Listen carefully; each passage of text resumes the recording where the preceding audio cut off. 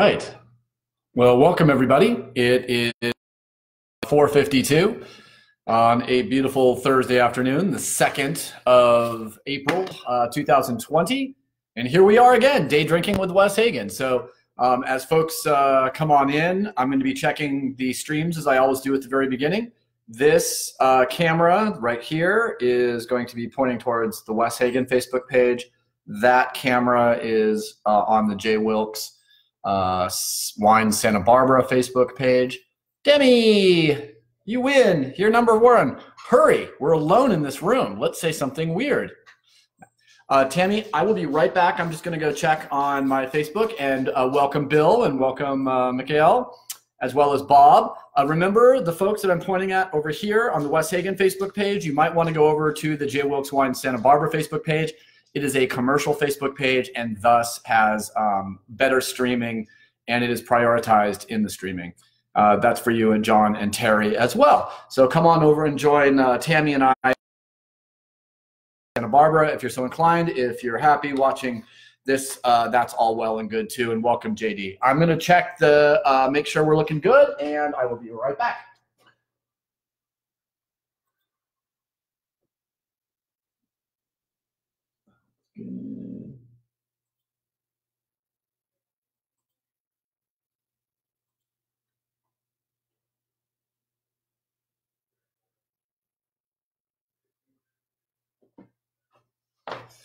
All right. As my friend Dave Vergari says, we are live and we are nationwide. So let's settle in, relax, take a deep breath, understand that we're in, uh, in an interesting historical time. And thank goodness we have uh, wine, beer, spirits, mead. I won't include seltzers. Sorry, seltzer. You just you haven't uh, matriculated yet to be important to this world. Uh, and Dominic is back. He was hoping he was going to make it. And I got your yeast question, uh, Dominic, and I think I sent you that. Uh, it wasn't running as of two minutes ago at the J. Wilkes site. I did just go check in, and it should be on about a 30 second delay. So I'm actually looking at the J Wilkes Santa Barbara. Remember, it's not the J Wilkes site. It's J Wilkes Wines Santa Barbara. It's our it's our tasting room site. Um, we are in the process of removing the original J Wilkes Facebook page and focusing everything on the J Wilkes Wines Santa Barbara. Carrie, welcome. Missing the hitching post, I really am. Uh, one of the most important restaurants in my estimation uh, in all of Santa Barbara. And Anne is here. Uh, Bob and John came on over. All right, Bob, very well all right, is is it wrong that I have a glass of smashed berry rosé and one glass in the hand, uh, one hand in the? No, no, I believe in uh, very strongly that uh, that dual wielding uh, or or double fisting is absolutely perfectly appropriate, especially in this um, sort of. Um, uh, unknown time where we don't know. you know, the way I look at it, you know, two hands, two glasses, it seems to make sense. I try not to argue uh, with uh, with evolution by natural selection. Um, we have two we have two hands. Just in case we lose one we can still drink.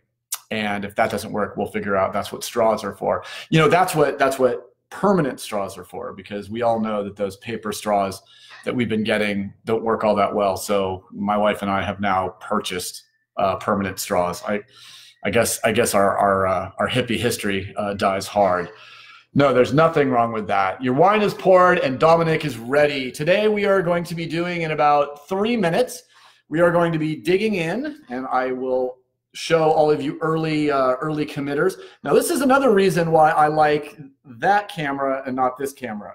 This camera goes to Wes Hagen, Facebook.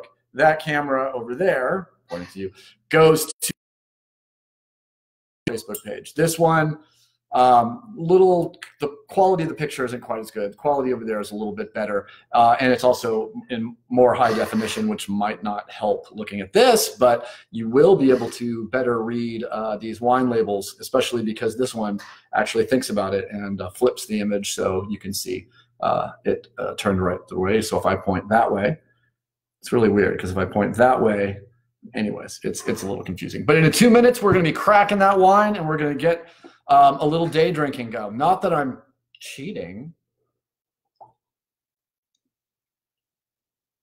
It does take a lot of beer to make wine. and uh, you know, and beer being so important to the history of the world.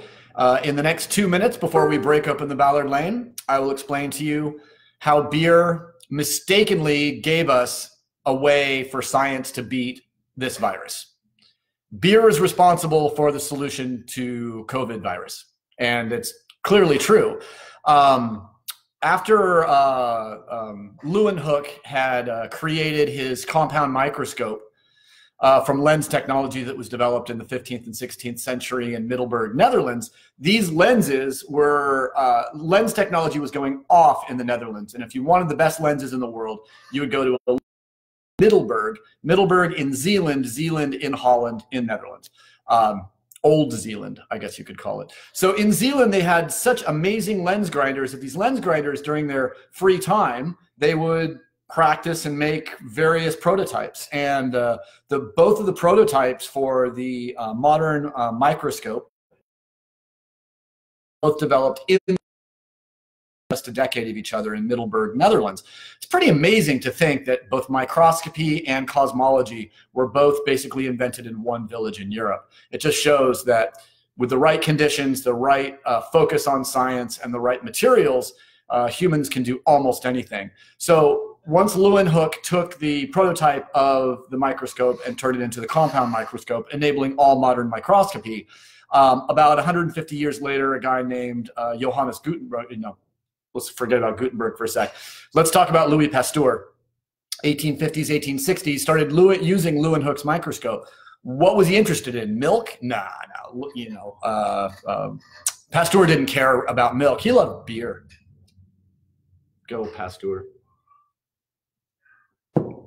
So what ends up happening is Pasteur wants to write a book uh, called on fermentation science uh, called "Beer: Its Diseases and How to Prevent Them." So he starts using Leeuwenhoek's microscope. Eddie, talking about beer. Uh, and hey, Phil, it's good to see you. Um, or good to be seen. Um, so uh, using Leeuwenhoek's microscope, Louis Pasteur developed, looked at beer and tried to figure out why beer actually went bad. And what he saw, he named under the microscope. He saw little tiny micro microbes moving around, and as the, one of the world's first microbe hunters, he got to name them. So he he named them germs. So, in an attempt to understand why beer goes bad, to understand the kinetics of fermentation, for the first time, a human being using the genius of human discernment understands how fermentation works from a scientific basis. 1860, the world believed that alcohol was created by a god or gods for human enjoyment. It's a lovely sentiment that le bon Dieu fait le vin, you know, the good God makes the wine which makes me wonder if you're an atheist you know do you and it's a good vintage? Do you well, anyways. But the idea here is that science lens technology basically glasses because that's why they were grinding all these lenses because uh, uh, johannes gutenberg figured out uh, how, how to make movable type. The middle class in europe started buying books. They realized how awful their, their sight was and they needed spectacles well, spectacles have been around 100 years before the printing press, but no one used them except monks because they were the only ones who were literate and the only ones who needed them to make the illuminated uh, manuscripts and such. So, what ends up happening is the wine press, which Lewin, which uh, Johannes Gutenberg used to make the printing press, printing lens technology led to the microscope. Microscope led to an understanding of the microbial universe and the understanding of germ theory. Germ theory is the basis for all clinical medicine in the world today. Thereby, if there is a solution to COVID 19, it comes from the study of fermentation.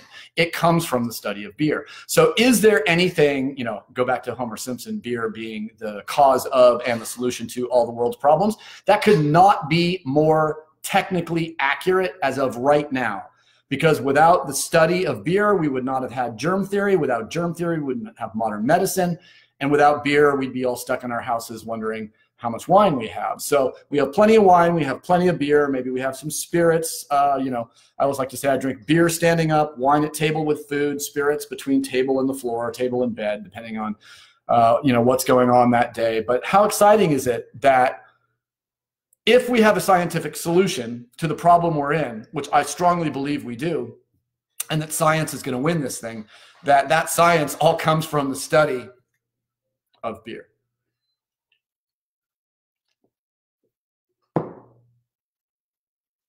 Welcome to Day Drinking with Wes Hagen. It is 502 um, wherever you are, whatever you're doing, I'm seeing uh, Peter Rogers just came, came in. Uh, we've got a bunch of other people ready to rock and roll. So let's jump in. And um, I will, uh, and I said, I think this last night, I am keeping up with your questions on these, but I have not yet posted the two week calendar. And I commit to you right now because, and I'll, under, I'll explain to you why, I will not be doing a video tomorrow night, but I will be watching a video hopefully with you. And I'll explain what's up with that. And then we're going to have our um, open Zoom hangout on Saturday, which was really fun. We had like a dozen people um, hang out on Sunday, and everyone was on Zoom and everyone was talking. And I was kind of moderating, and we were looking about what we were tasting, and people were talking about food. We had restaurateurs we had winemakers, we had wine salespeople. It was loads of fun. So Saturday at five, we're all going to get together on Zoom, and uh, I will put the link probably on Facebook, and I'll probably um, bring it into the Santa or the J. Wilkes Facebook page. Eventually, this will disappear from the Wes Hagen Facebook page. So do make sure that you've liked and that you follow the J. Wilkes Wine Santa Barbara page because eventually uh, the other, this one, will actually go. Hey, hey, Cheryl McPhillips. I'm guessing that actually might be Mark. So my friend Mark McPhillips in Sierra Madre, California, otherwise known as Wes's Hotel when he's working in uh, Los Angeles.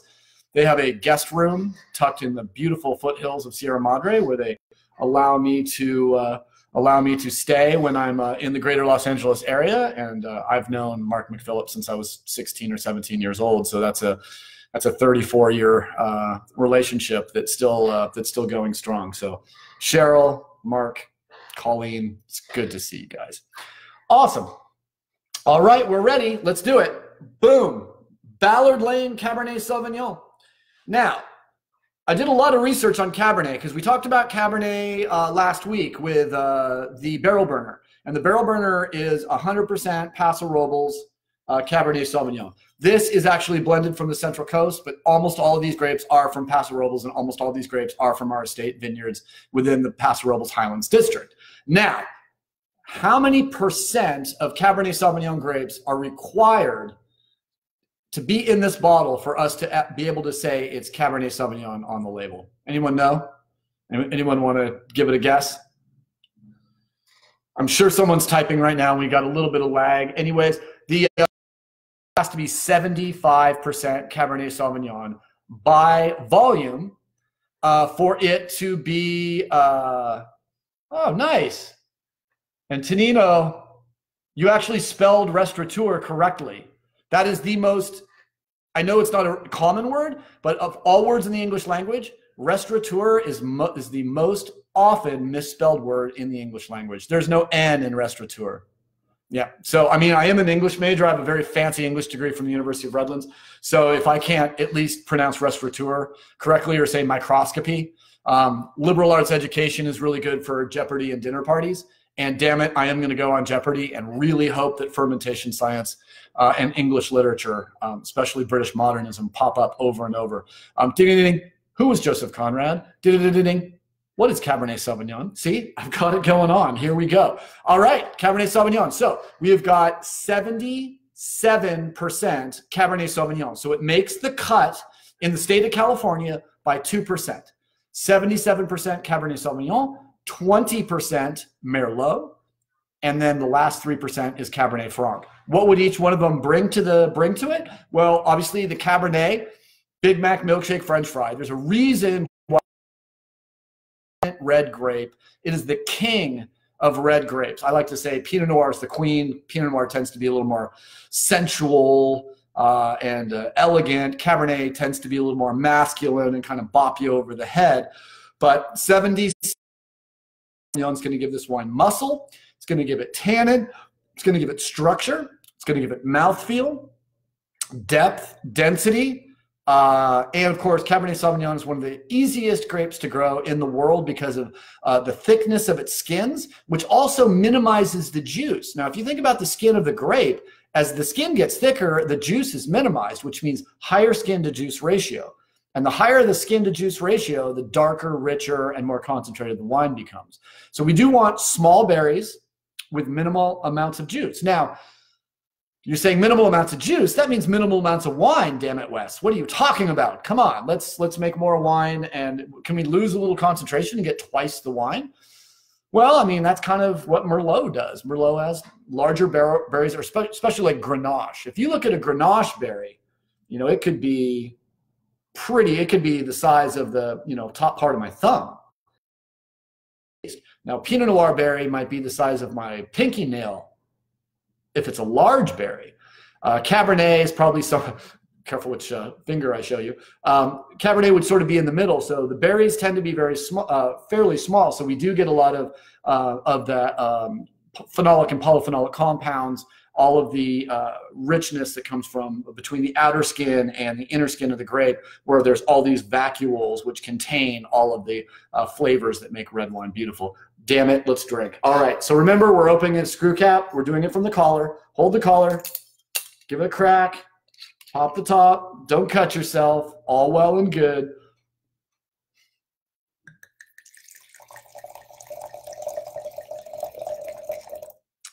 Oh, that's a good sound on a Thursday afternoon. All right, here we go. I'm getting much better at this each time.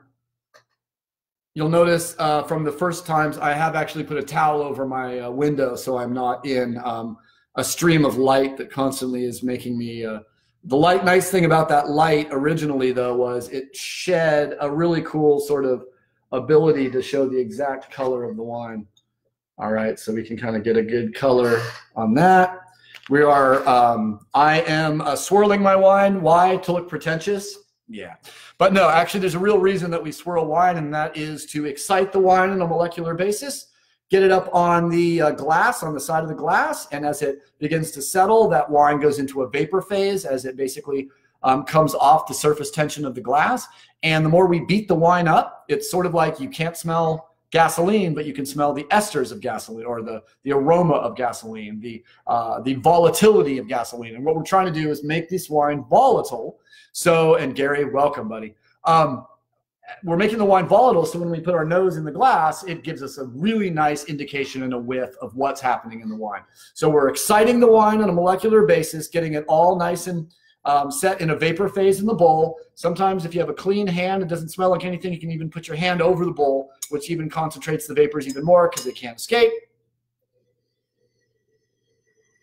Classic Cabernet aroma. You've got that uh, black currant, which is currently, I mean, which is currently actually showing really, really strongly. So you've got the currant, the black currant, um, and of course the uh, cherry, black cherry, uh, uh, you know, some some um, uh, blackberry, boysenberry. Those are the things that we're going to imagine that we're going to uh, smell in uh, in a Cabernet Sauvignon.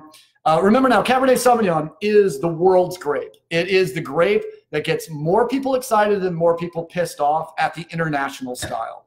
There is a belief in the world of wine that that Cabernet Sauvignon is to a certain extent a colonizer. And what do I mean by a colonizer? Well, I mean a lot of people look in in the third world and even maybe even in the second world, look at Cabernet a little like a British guy wearing a pith helmet. Well, what are you doing here? Are you going to displace our traditional feral grapes? You know, are you going to come in and remove the grapes that we grow traditionally so we can put something in the ground that sells? And this is the biggest problem of wine. If you're going to plant wine in Virginia, are you going to plant Norton or are you going to plant Cab Franc? I'm going to argue you can make a better wine from Norton. But the Cab Franc will sell because it has a French name. Norton doesn't have the cachet, doesn't have the sexiness unless you really know Norton and you know just how darn good that grape can be. Um, you know, like I had a client that, you know, I didn't actually charge him to consult. This was back when I just gave it away for free. But he wanted to uh, farm uh, Pinot Noir in Kentucky. And I told him perhaps the terroir was not as willing as it would be in other places in the world. That was as nice as I could be, right? Um, he says, No, I got a mule, not not the fancy, you know, a mechanized mule that goes 80, you know, 60 miles an hour on a farm. No, he had a mule, like half a horse, half a horse, uh, and half a donkey. Uh, he had a he had a sterile he had a sterile blend is what he had.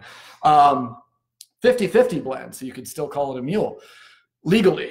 So he wanted to grow Pinot Noir in Kentucky, and I just told him that he was insane. That that was probably not the greatest greatest way uh, of uh, of doing what they wanted to do. But in the end, he tried it and he made some wine, and it wasn't very good. So he grafted it over to something else. But colonizers, colonizers is where we were going. So if you are in the um, Chianti region and you're seeing Sangiovese being pulled out and Cabernet and Merlot and Syrah put in, so you can make bigger wines than your Chianti Classico. To make a wine that um, appeals more to Robert Parker's palate, appeals more maybe to Antonio Galloni, or or appeals more to the wine enthusiast. To get a higher scores, and then so they can they can sell more wine and charge more money for it. So Cabernet is a colonizer. It moves into places. It is grown in the Okanagan Valley in, in British Columbia. It is grown in Chile. It is grown obviously in Bordeaux. It's grown throughout France. It's grown in Italy. It's grown in Greece. Um, it's grown in Lebanon. So when you uh, when you start thinking about a grape that is in British Columbia and in Lebanon, that's a grape that's got some traction. That's a grape that's got that's that's getting some work in for sure. Katie's back and Marla, welcome guys. So nice to have you here with us. We're talking a little bit about Cabernet Sauvignon. I have got this beautiful Ballard Lane Cabernet Sauvignon 2017 in my glass. By the way, this wine has two gold medals. Is a gold medal better than 90 points? I'm going to say yes, and I'm going to tell you why. You get four professional wine judges together on any given wine professionally for almost 25 years Usually you have a winemaker, someone who sells wine, maybe a wine marketer, and maybe a wine writer. If you can get all four of those human beings to say in front of each other in a social situation that they think it's a gold medal wine, that's almost a miracle. I would probably say a gold medal to me from any uh, good wine competition means more than a 90 point score. But what are these wine competitions doing now that they understand that the point scores might actually be more valuable than a medal. Well, now they're actually attaching numbers to their gold medals. So if you give the wine a gold medal, they also say, all right, well, score the wines with numbers, and if it, the number is over 90 points, it gets a gold medal. Or if you give the gold uh, wine a gold medal, also given a number score so we can publish the uh, the mean uh, average of of the of the scores in the panel. So here you got it. Hey, Susan, it's good to see you. So now you've got the Ballard Lane Cabernet Sauvignon, and I have talked a lot about this wine without actually tasting it. I said in the nose, it's classic Cabernet blend. Remember, that's got some Merlot, it's got a little Cab Franc. So the Cabernet Sauvignon is going to be the muscle. It's going to be the base of the wine. It's going to be the structure of the wine. It's going to be the spine of the wine. It's going to be the presence of the wine. It's going to be, and because we have named it Cabernet Sauvignon, it's sort of like it has to taste like Cab. It's like it's an action movie, so there's going to be some action. There might be some romance, you know. There there might be some alcohol use, but damn it, the movie better be uh, what we uh, what we uh, advertise it as. So here we go.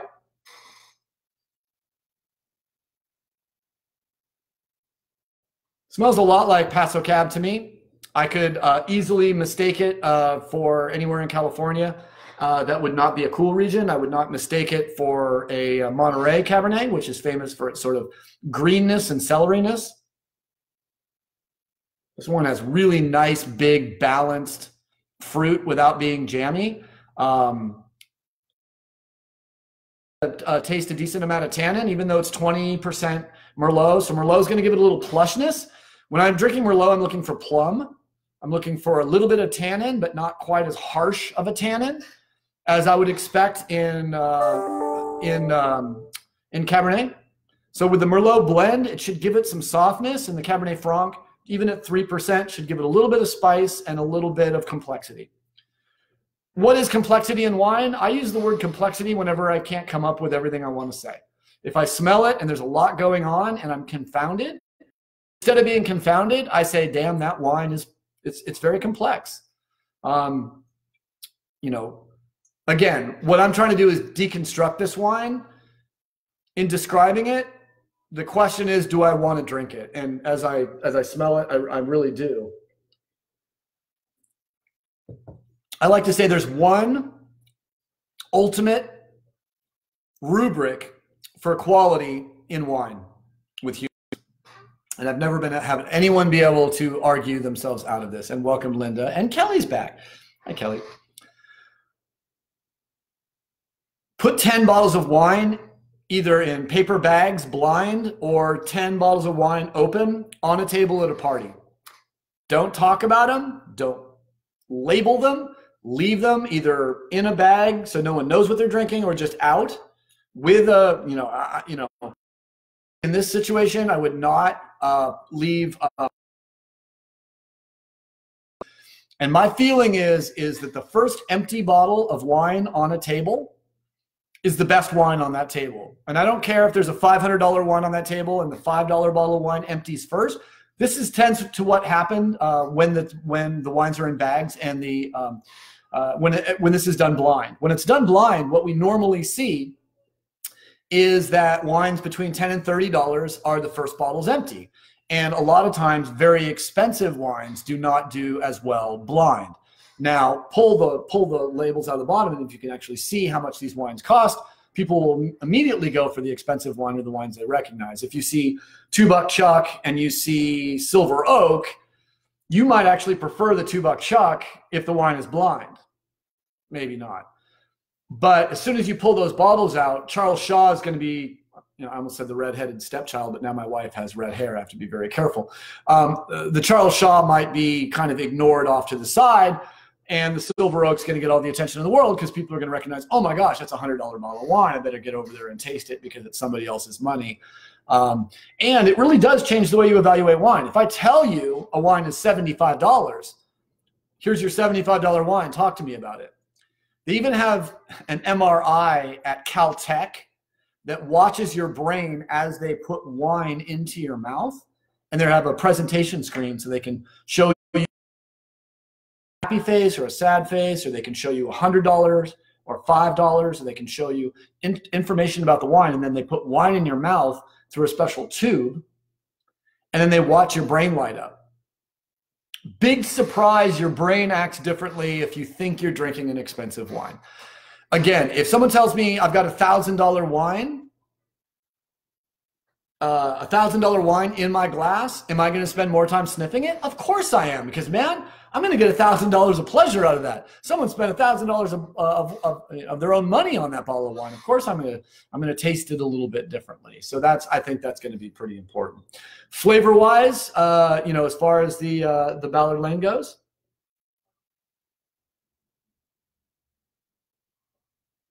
definitely those big red and black berry fruits. A little bit of kind of uh, a little bit of uh, spice and earth. I mean, I, I normally, you know, these are things that I smell a lot. Classic Paso Robles, uh, more than classic Central Coast. Central Coast Cabernets tend to have a little herbaceousness sometimes a little bit uh, that pyrazine character that might be described as a green bell pepper. I get none of that. I get absolutely zero pyrazine. If you grow the grapes right, the pyrazines and those uh, bell pepper aromas, they shift and they change, and the pyrazines are shifting into terpenes, and they don't always go all the way through. And my idea, and this is my own personal belief, which I'm sure there's probably someone out there that could probably disprove me, is that the pyrazines on their way to terpenes – can start showing some intermediate character. They're not quite pyrazine, they're not quite terpene, like black pepper, white pepper, um, some savory aromas and stuff. They're not quite the aromas of white flowers or terpenes or high, uh, like high tone berry fruit. And they're not quite pyrazine. They're not quite vegetal and they're not quite fruity. They're kind of stuck in between. So my belief is varying amounts of canopy management and opening up the canopy of a grapevine uh, to the to sun and wind have a positive effect on, effect on the fruit and the quality of the wine. Uh, and there are varying uh, degrees of leaf removal and sunshine in the canopy that will have varying effects on the fruit. It's not just all the pyrazines gone or all the pyrazines there. Obviously, there's going to be uh, an entire sort of um, continuum. And I think a lot of the things that we smell in wine are really due to uh, fine tuned canopy management within how a vineyard is managed. Absolutely. Cool enough. Candy's back. Good to see you. I haven't scared you away yet. That's wonderful. Uh, you know you're going to get 30 seconds of strictly commercial on the Ballard Lane cab. And then while you guys are still here, I want to tell you what's happening tomorrow because it's going to be kind of a special thing. Um, although you're going to have to deal with me not being here. Um, Number one is Ballard Lane Cabernet Sauvignon. It's delicious wine. It got 91 points uh, from uh, the fair and a gold medal. And it also got a gold medal award uh, from the San Francisco Chronicle, which really is one of the best wine competitions. It's one of the only wine competitions where every wine judge has to be tested and has to be um, educated. Um, Ballard Lane Cabernet Sauvignon 2017, usually on the shelf, $12.99 to $14.99. It is part of the Miller Family Wine Company um, uh, special stay-at-home special. Let us send you some wine. Uh, I just sent a case of this wine to my dad down in Palm Desert. Tax and shipping included, $79 and change. $7.50 a bottle. $7.50 a bottle and uh, one cent shipping. So I don't know how I got that under under 80 bucks because that should have been a little bit more than that, but it was. It was only 79. It, it, will be amazingly reasonable as far as pricing goes. But we've got nine different wines on the site, everything except J. Wilkes. So Ballard Lane, Barrel Burner, and Smashberry, especially that Smashberry Rosé. I'll tell you what, seven dollars and fifty cents a bottle for that Smashberry Rosé. You should have at least a couple cases of that, waiting for uh, summer. Either you being inside in summer or you being outside where you belong in summer. Either way, it's going to require rosé all day. Am I right? Um, so uh, the promo code for that is DD50. Day drinking DD50. Capital D, capital D, 50 and that'll take uh, that'll give you 50% off all of the wines. And we are also just because we love you, we're giving you uh, 20% off any J Wilkes order mix and match of at least six bottles. But the DD50 um, uh, promo code won't mess up your J Wilkes wine. So if you want to put some J Wilkes wines in there, some Ballard Lane, some Barrel Burner, some Smashberry, it all works together. And thank you, Kate, um, who's watching, for doing all of the hard work and trying to build and break those promo codes. Um, she did figure out a way to uh, get the price of some of the wines down to zero. Um, I wouldn't share that with you because I love my company as much as I, I love you guys, but it's fixed. You can't get the wine for free anymore, and you can't even break it because Katie knows what she's doing. She's got mad skills. And Joe and Vince, thanks for coming in as well. All right, so tomorrow, so let's talk a little bit about tomorrow. Tomorrow is we just found out is Cat Cora's birthday. If you don't know who Cat Cora is, she's she uh, won um, the first uh, the, I think like the first Hell's Kitchen or the first Chopped, uh, one of those first uh, one of those shows. She's the first television made sort of well, I mean television made sort of um, I guess reality show made celebrity chef, and she's awesome she's got an amazing social media uh, out uh, sort of um, following. And uh, we got a, uh, our uh, PR agency got a request from Cat Cora personally, who said that she was interested in serving Miller Family Wines for her birthday Instagram celebration. It's at Cat Cora, at C A T C O R A. I'm going to post this all over my social media tomorrow so you guys can join. Just so happens she's going to have her birthday on Instagram at 5 p.m. tomorrow. And as a result of her uh, drinking and enjoying the Miller family wines uh, publicly and on Instagram, I'm going to support that by watching her. And then, so what we're going to do is we are going to basically just push the stuff that I was going to talk about uh, on Friday. Um, in, into the future. So tomorrow I was going to, I think, finish up. Um, I think uh, intro to food and wine pairing. So food and wine pairing might go either uh, to Monday next week, or it might uh, just find a time. It might even be as, as late as next Friday. But um, I'm not going anywhere either of you, so don't worry about it. It'll, we'll have plenty of time to do this. Um, oh, Morgan. Morgan is uh, visiting. Hopefully, she's doing well up in uh, up in Oregon. Morgan was the uh, executive director of the Santa Barbara County Vintners. Um, and uh, while I was on the board, we hired her and she did some excellent, excellent work for her. So I hope everything is well with you, Morgan. Really do miss you. And Marla says the same thing. She says that. And Morgan, by the way, last time I'll be saying this, but we also do this over at the uh, J. Wilkes Wine Santa Barbara Facebook page. And because it's a commercial page, the quality is a little bit better. And I look at that camera a little bit more than I look at that camera. But I've got two cameras because you know I uh, I'm very lucky that uh, my wife Chanda is also my producer. She encourages me to uh, light a candle, um, set this up to make it look a little more homey, and to make sure that um, there's plenty of good books behind me so people can kind of squint and try to understand what is the secret to this Wes Hagen man's brain. What does he read on a regular basis that gives him some skills? Well, looks like we had a lot of people uh, join us tonight. We're getting more and more people every night. Um, our outreach, you know, within 24 hours is between 1,000 and 2,000 people.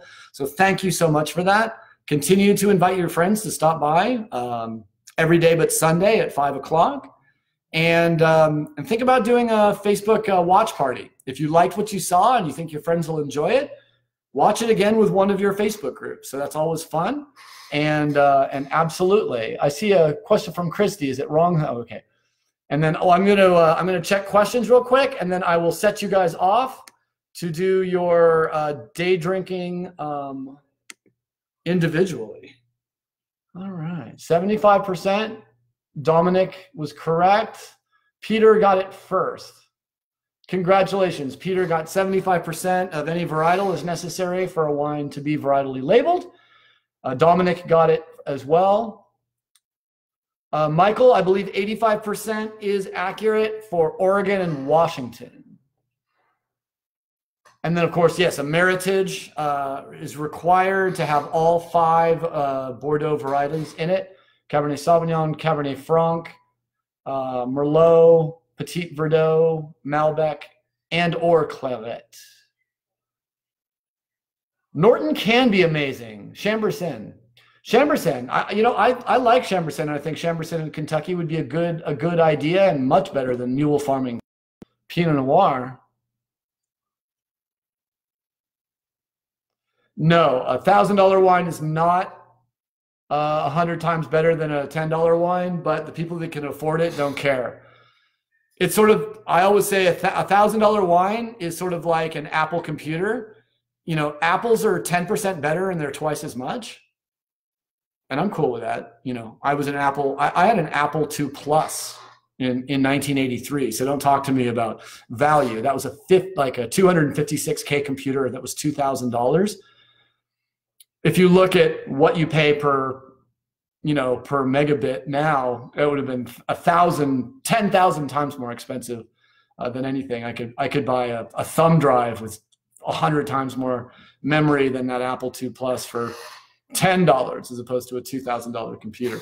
So I, I, I, honestly do think a thousand dollar wine is like, it's like an Apple computer. It's, it's a little bit better. And for those people that can afford it, man, I mean, drinking the best wines in the world is one of the, for me, one of the most fun things you can do because it's like, it's like traveling the world in a glass. Excellent. Oh yes. And uh, I got a comment that uh, Cheryl and Mark love my uh, my drinking bear. Let's see. There, there it is. It's right. Let's see. I, I don't know how to do this. Right there. So that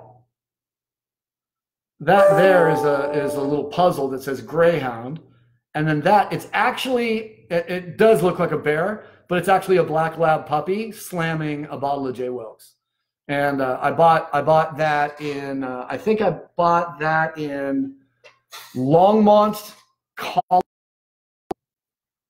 Um, at a very interesting wine shop owned by an Ethiopian man. We had a long discussion about Haile Selassie. Yeah. Is that cultural appropriation? Because I've hung out with so many hippies, white guys with dreads. Maybe. But it was a good conversation. And as a result, I did buy a $30 statue and bring it back for my wife. Because it looked so much like Kestrel, our black lab. It was a wonderful thing. All right. Compare scores at a is a home a homemade wine uh, home winemaker tasting. Compare scores. Yeah, so I've judged uh, Iron Chef. Thank you, Janet. That's who Cat Cora won. Um, yeah, she is. She was amazing, and you got that too, Christy. So Bob asks about scores, uh, commercial tasting versus home home wine making scores. Now this is actually really, really, uh, and then I got a question about Viognier, and then we'll close up. Um, I've judged at commercial competitions and I've judged also at uh, home winemaking competitions. I think certainly uh, to get to gold medal as a home winemaker, it's harder for you as a home winemaker, but we do probably give you a little more dispensation that a gold medal at a commercial competition does need to be a little more expressive gold medal at a home wine competition. When I first started judging wine uh, back in the mid 90s, if the wine was good, delicious, and I was proud to, I would be proud to serve it to my friends, we gave it a gold medal. We would eliminate more than 60% of all wines entered into competition with our nose. Uh, we would uh, call them retain eliminate rounds, and we would put 10 wines in front of us, smell all 10, and push the wines that didn't smell good away and brought the wines that smelled good closer to us, and then basically eliminated all the wines that smelled like, that didn't smell right without ever tasting them. And that taught me the letters DNPIM, which I put in a lot of my notes, which is did not put in mouth. So 20 years ago, half of the wines made in the United States were flawed, were fairly seriously flawed. My belief is in that in 2008, during our first sort of run at this, that uh, basically that basically concentrated the the buying power for the American wine populace into the brands that were making good wine, and people stopped spending their money on bad wine because they didn't have the money to spend on it.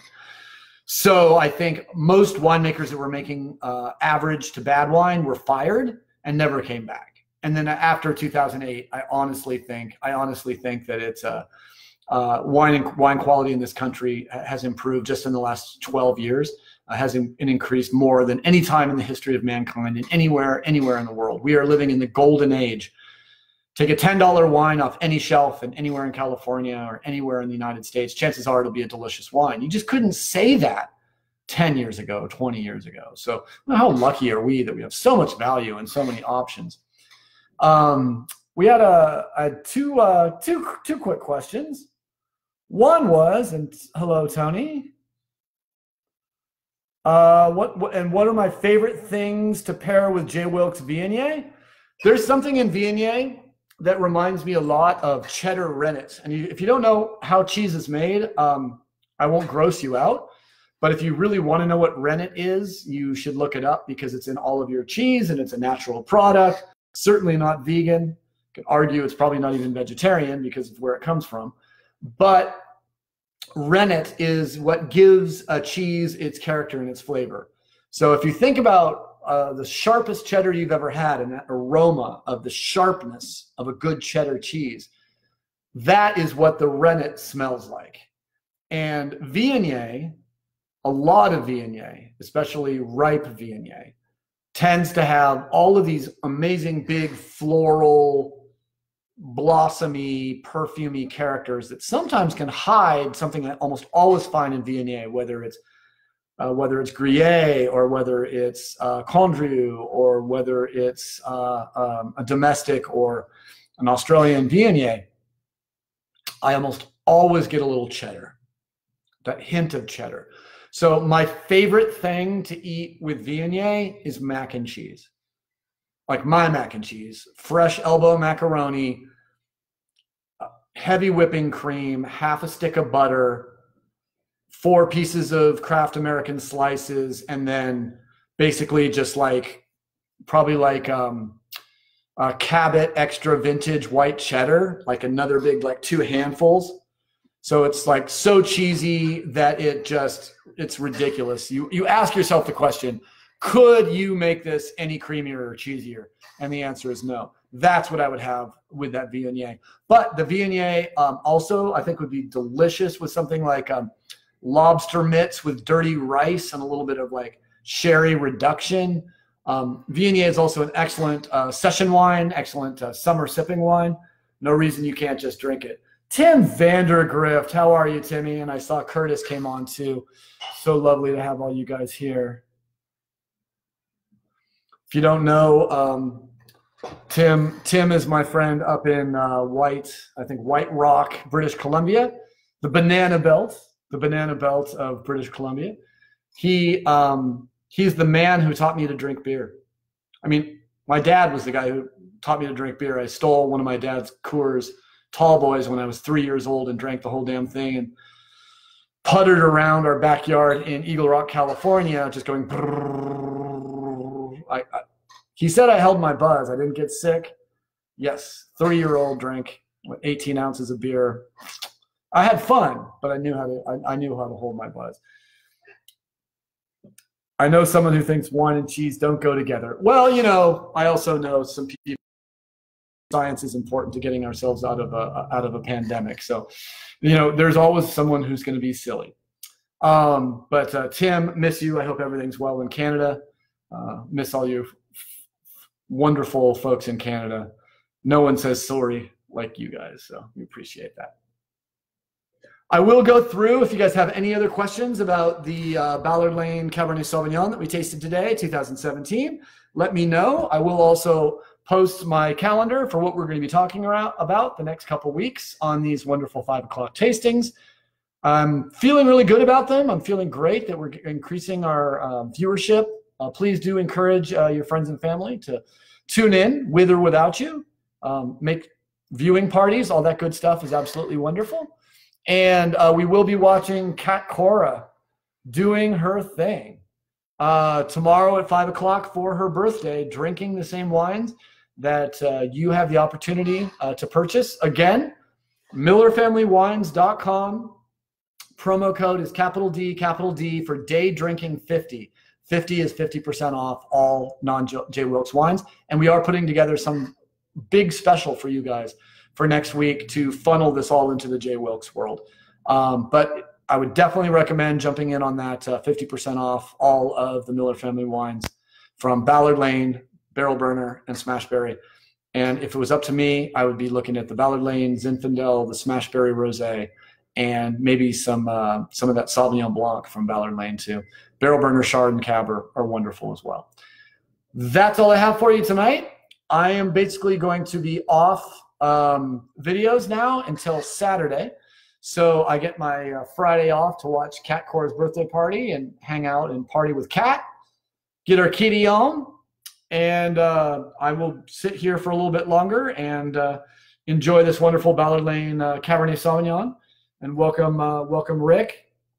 And Beth is back. So lovely.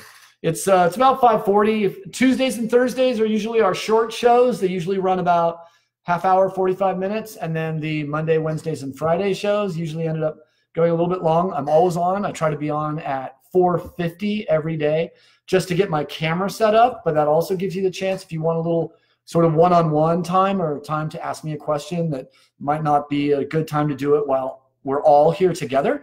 450, I'm usually on. Usually by you know five minutes before, um, I'll have the feeds up so you can see where they are.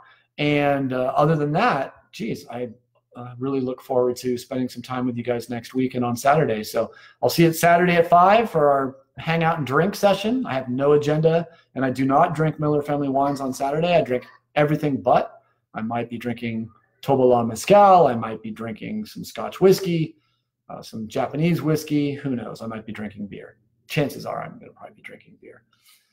All right. Thank you, Tanino. Really appreciate that. And congratulations on your proper spelling of restaurateur. You win a corkscrew at some point. Also, if you do and you if you do order uh, a case of any of the wines on our website and you haven't emailed me at whagen at jwilkes.com, please do and let me know your address. I will send you a personal note and a corkscrew.